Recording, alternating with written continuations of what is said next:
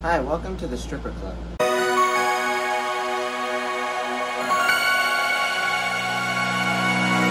Remember when we were friends, it was all enough That was then, this is now, it was always love We were fake, no mistake, there was nothing wrong